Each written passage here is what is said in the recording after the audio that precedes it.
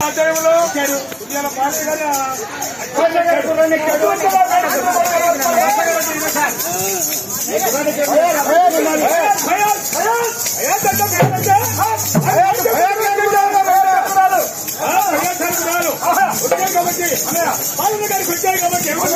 ఎలా ఉండాలి అప్పుడు కానీ ఎప్పుడు పడితే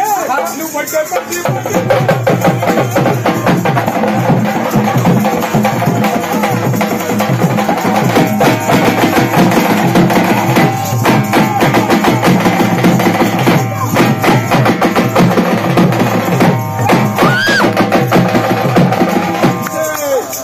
thank